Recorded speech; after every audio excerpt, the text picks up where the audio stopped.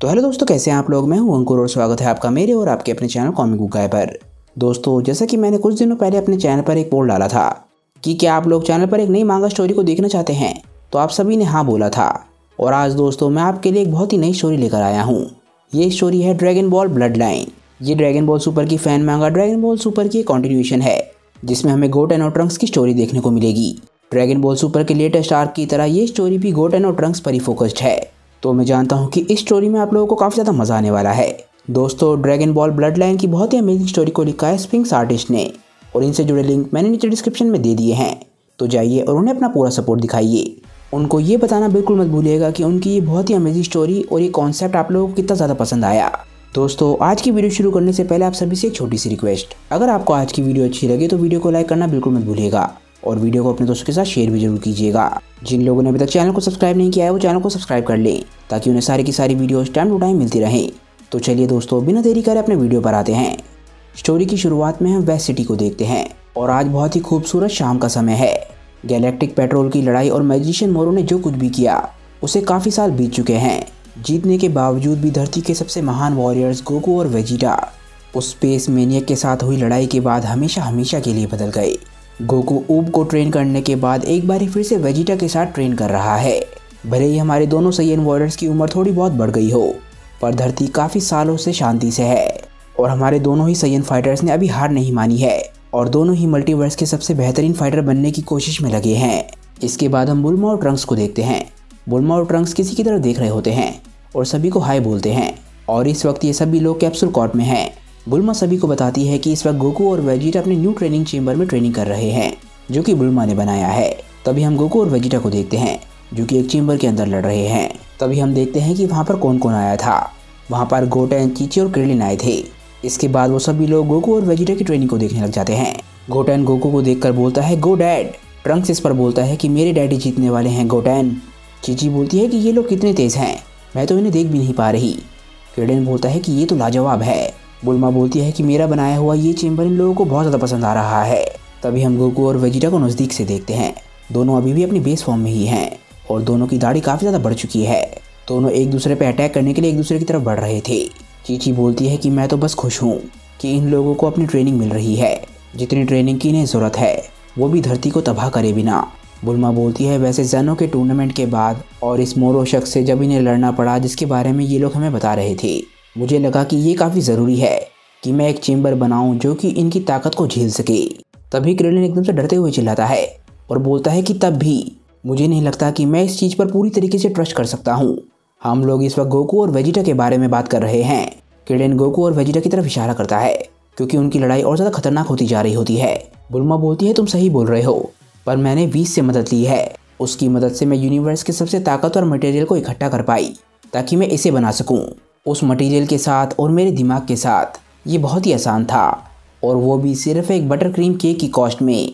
इसके बाद हम देखते हैं कि गोकू और वेजिटा का पंच टकराता है। बुलमा बिल्कुल हैरान रह जाती है, क्योंकि पूरा का पूरा चेंबर हिल चुका होता है। हम देखते हैं कि गोकू और वेजिटा की लड़ाई काफ़ी ज़्यादा इंटेंस हो चुकी होती है। गोकू वेजिटा का पीछा कर रहा होता है। गोकू वेजिटा को रुकने के लिए बोलता है और बोलता है, वेजिटा! वेजिटा बोलता है, क्या हुआ कैकरॉट? क्या तुम्हारी बढ़ती हुई उम्र की वजह से तुम धीमे हो गए हो? ये बात सुन के गोकू को गुस्सा आता है और एकदम से गोकू वेजिटा के नज़दीक पहुँच जाता है। गोकू और वेजिटा एक दूसरे को पंच मारते हैं और दोनों ही एक दूसरे के पंच को रोकने में कामयाब भी हो जाते हैं। एकदम से वो दोनों एक दूसरे से दूर होकर अपने सबसे खतरनाक अटैक बनाते हैं। गोकू कामेहा मेहा और वेजिटा गैलिक गन इसके बाद वो दोनों ही अपने अटैक्स को एक दूसरे पे शूट करते हैं। दोनों के अटैक्स टकराने की वजह से काफ़ी बड़ा धमाका होता है। तभी एकदम से वेजिटा बहुत तेज़ी से गोकू तक पहुँच जाता है और लगातार उसे पंच मारने लग जाता है। तभी एकदम से गोकू वेजिटा के सामने से गायब हो जाता है और वेजिटा का पंच ज़मीन पे लग जाता है। ज़मीन एकदम से टूट जाती है।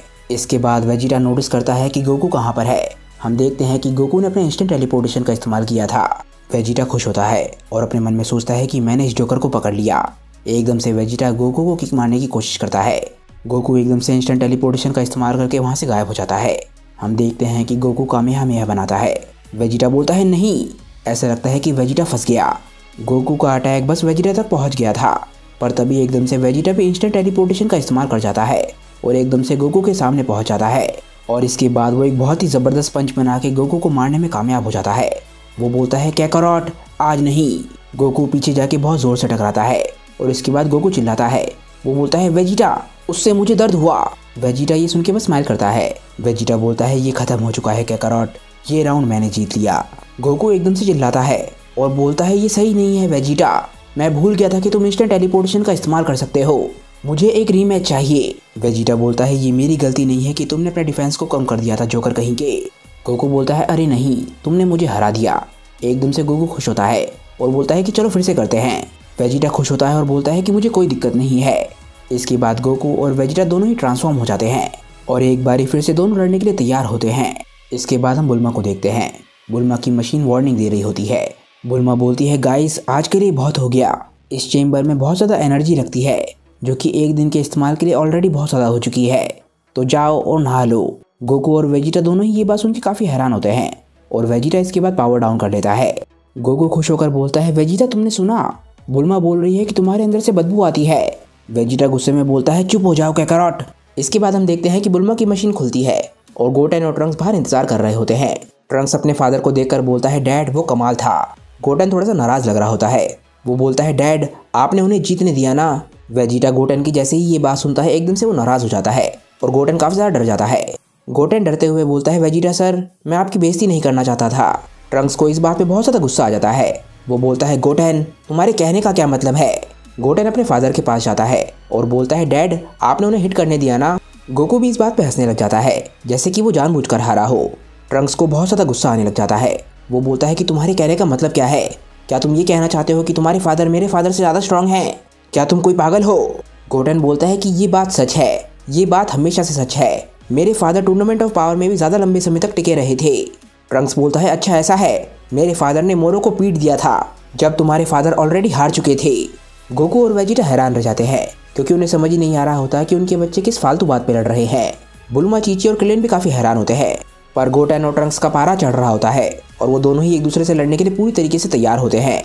गोकू एकदम से लड़ाई के बीच में आता है और दोनों से बोलता है कि दोनों अब शांत हो जाओ। वेजिटा और मैं एक दूसरे को पुश करते हैं। आज हम दोनों जो भी हैं, वो एक दूसरे के साथ राइवलरी की वजह से ही हैं। वेजिटा वहाँ से जाने लग जाता है और बोलता है कि ये सब बहुत हो गया। मेरा सर दर्द हो रहा है। ट्रंक्स, चलो यहाँ से चलते हैं। गोकू भी वहाँ से जाने लग जाता है और बोलता है, वेजिटा, फिर मिलते हैं। गोटेन और गोकू कैप्सूल कॉर्प से बाहर आ रहे होते हैं। और गोटेन काफ़ी ज़्यादा निराश लग रहा होता है। वो बोलता है, डैड, मैंने भी जो किया, उसके लिए मुझे माफ़ कीजिएगा। गोकू बोलता है, बेटा, चिंता मत करो। वेजिटा और मैं इस वक्त काफ़ी ज़्यादा बराबरी के लेवल पर हैं। तभी एकदम से गोकू गोटेन के कंधे पे हाथ रखता है और बोलता है, गोटेन, मेरी बात सुनो। हमें बात करने की ज़रूरत है। गोटेन काफ़ी ज़्यादा चौक जाता है और बोलता है, डैड, पर किस बारे में? दूसरी तरफ़ हम वेजिटा को देखते हैं और वेजिटा भी ट्रंक से कुछ इसी तरीके की बात कर रहा होता है। वो बोलता है, ट्रंक्स मैं चाहता हूँ कि जो मैं बोलना चाहता हूँ तुम वो सुनो। ट्रंक्स हैरानी से पूछता है कि पर डैड क्या हुआ? वेजिटा बोलता है, समय आ गया है। गोकू और वेजिटा दोनों ही अपने बच्चों से सेम बात कर रहे होते हैं और दोनों बोलते हैं कि अब समय आ गया है कि तुम लोग धरती की रक्षा करो। गोटेन काफ़ी चौक जाता है। वो बोलता है, रुको, क्या? वेजिटा ट्रंक्स को फिर से समझाता है और बोलता है कि समय आ गया है कि तुम प्लेनेट की रक्षा करो। ट्रंक्स पूछता है कि इससे आपका क्या मतलब है? आप क्या कहना चाहते हैं? वेजिटा बोलता है कि एक ऐसा समय ज़रूर आएगा जब मैं यहाँ पर नहीं होऊँगा। कैकरॉट भी गोटेन से इसी बारे में बात कर रहा है। गोटेन बहुत ही हैरानी से गोकू से पूछता है कि, पर मुझे धरती की रक्षा करने की क्या ज़रूरत है? आप मुझसे मिलियन टाइम ज़्यादा ताकतवर हो। गोकू बोलता है, नहीं, अगर तुम ट्रेनिंग शुरू करो और अपने आप को पुश करो तो मैं तुमसे ज़्यादा ताकतवर नहीं रहूँगा। वेजिटा और मैं इस दुनिया के लिए जो कर सकते थे, वो हम कर चुके हैं। और अब तुम्हारी और ट्रंक्स की बारी है। गोटन बोलता है, धरती का रक्षक। ट्रंक्स बोलता है कि तो अब मुझे क्या बनना है? क्या आप चाहते हो कि मैं एक हीरो बनूं? वेजिटा बोलता है, नहीं ट्रंक्स तुम्हें एक वॉरियर बनने की ज़रूरत है। एक असली सैयन। जब तुम एक छोटे बच्चे थे, तब तुम ऑलरेडी सुपर सैयन की लेजेंडरी ताकत का स्वाद चख चुके हो। वो भी बिना किसी एफर्ट के। एक ऐसा काम जो करने में मुझे मेरी आधी ज़िंदगी लग गई। पर क्या तुम सच में ये चाहते हो कि वो तुम्हारी पीक बन के रह जाए? गोकू बोलता है कि मैं जानता हूँ कि मेरा बैटल के लिए प्यार कभी खत्म नहीं होगा। पर सभी को पता होना चाहिए कि कब साइड हटने का समय आ गया है। धरती काफ़ी सालों से शांति से है। पर ऐसा नहीं है कि ये हमेशा ही शांत रहेगी। शायद तुम समझ रहे होगे। गोटेन पूछता है कि क्या आपको लगता है कि अगर मैं ट्रेनिंग करता रहूँ तो मैं आपके पावर के लेवल तक पहुँच पाऊँगा? यानी कि गॉड्स की ताकत तक। गोकू बोलता है कि बिल्कुल, पर इस तरीके से तुम आगे नहीं बढ़ पाओगे।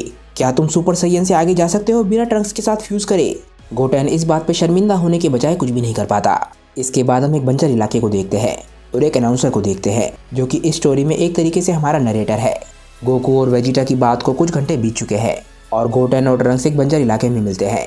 ताकि वो अपनी ट्रेनिंग को शुरू कर सकें। इसके बाद हम ट्रंक्स और गोटेन को देखते हैं। ट्रंक्स बोलता है गोटेन हमारे फादर सही बोल रहे थे। हमें आगे आना होगा, ताकि हम धरती के रक्षक बन सके। गोटेन काफ़ी निराश लग रहा होता है। वो बोलता है कि मेरे फादर ने धरती को तब बचाया था जब वो एक बच्चे थे, पर बू के बाद हमें कोई चांस मिला ही नहीं। ट्रंक्स बोलता है कि हमें उनसे भी ज़्यादा ताकतवर बनना होगा, यानी कि सुपर से यानी गॉड से भी ज़्यादा ताकतवर। गोटेन बोलता है कि बिल्कुल सही कहा। चलो हमारी ट्रेनिंग शुरू करते हैं। ट्रंक्स एक बात याद रखना कि मैं तुम्हारे लिए इजी नहीं होने वाला। ट्रंक्स बोलता है, तुम्हें कहने की ज़रूरत ही नहीं है गोटेन गोटेन और ट्रंक्स अपनी ट्रेनिंग शुरू करने के लिए तैयार होते हैं। दोनों एकदम से ट्रांसफॉर्म होकर सुपर सेन की फॉर्म में चले जाते हैं और इसके बाद वो अपनी ट्रेनिंग शुरू करते हैं। दोनों एक दूसरे पे लाते घुसे बरसाने लग जाते हैं और इसके बाद हम देखते हैं कि ट्रंक्स गोटेन पे ब्लास्ट शूट करता है, जिससे गोटेन बच जाता है। गोटेन और ट्रंक्स की बहुत ही इंटेंस ट्रेनिंग शुरू हो चुकी है और दोनों ही एक दूसरे पे बिल्कुल भी रहम नहीं कर रहे होते। हम देखते हैं कि लड़ाई में गोटेन एकदम से ट्रंक्स के पीछे आ जाता है। और एकदम से ट्रंक्स के पीछे एक ब्लास्ट शूट करता है। ट्रंक्स चौक जाता है और गोटेन के अटैक से खुद को नहीं बचा पाता। इसके बाद हम कैप्सूल कॉर्प में वापस आते हैं। हम देखते हैं कि बुल्मा की एक मशीन बीप कर रही होती है। बुल्मा बोलती है, ये तो काफ़ी अजीब है। ये मशीन क्यों बज रही है? बुल्मा मशीन के पास जाती है और उसे प्लानट के बाहर कोई चीज़ दिखती है। वो बोलती है, बहुत बढ़िया। अब ये क्या है? इसके बाद हम धरती को शांत देखते हैं, पर तभी वहाँ पे बिजली कड़कने लग जाती है। हर तरफ़ बिजली कड़कने लग जाती है और तभी वहाँ पर एक क्रीचर आता है। ये क्रीचर एक फीमेल है, जो कि बीरस के रेस की लग रही है। पर क्या ये फ्रेंडली है, या फिर धरती अब किसी बड़े खतरे में है? ये हम जानेंगे नेक्स्ट वीडियो में। क्योंकि दोस्तों, आज की ये वीडियो यहीं पे ख़त्म हो जाती है। मुझे नीचे कमेंट करके बताइए कि आज की ये वीडियो आप लोगों को कैसी लगी। क्या आपको ये नई मांगा पसंद आ रही है? आपके जो भी व्यूज़ हो, मुझे नीचे कमेंट में ज़रूर बताइएगा। और दोस्तों, अगर आपको आज की वीडियो अच्छी लगी हो तो वीडियो को लाइक करना बिल्कुल मत भूलिएगा। और वीडियो को अपने दोस्तों के साथ शेयर भी ज़रूर कीजिएगा। जिन लोगों ने अभी तक चैनल को सब्सक्राइब नहीं किया, वो चैनल को सब्सक्राइब कर लें, ताकि उन्हें सारी की सारी वीडियोज़ टाइम टू टाइम मिलती रहे। तो चलिए दोस्तों, आज की वीडियो के लिए बस इतना ही। मैं मिलता हूँ आप लोग अपनी नेक्स्ट वीडियो के साथ। तब तक के लिए बाय दोस्तों, और थैंक्स फॉर वॉचिंग